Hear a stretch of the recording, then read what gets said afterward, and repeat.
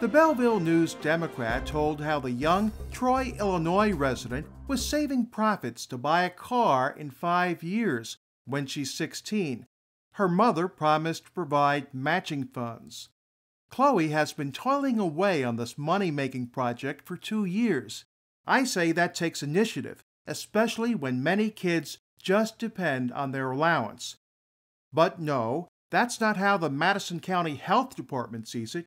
You see, Chloe doesn't have the required permit, and that puts her at odds with the Illinois Sanitation Code. She's been ordered to shut her business down. It seems like Chloe has two choices. She can either put more effort into her pet sitting business or take it easy till she's 18 and go on welfare. That way, nobody will put her out of business again. This is Steve Eastman reporting. Discover more stories like this one on our website, waittilyouhearthis.com.